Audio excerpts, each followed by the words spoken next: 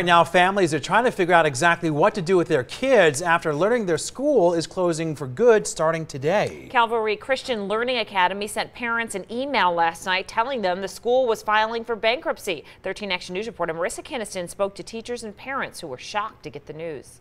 Several cars here in the parking lot. We have noticed both teachers and parents heading inside, many of them still trying to understand what is going on. I wasn't able to say goodbye to my students. It's not even about yes. the job. It's not about the job at all. It's that, um, sorry. An emotional day at Calvary Christian Learning Academy.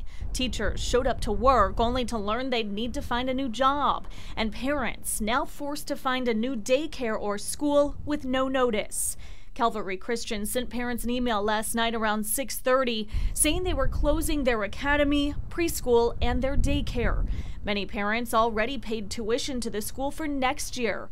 It's still not clear if they'll receive that money back. We did put a call into Calvary Christian, but have not yet heard back. Marissa Kinniston, 13 Action News.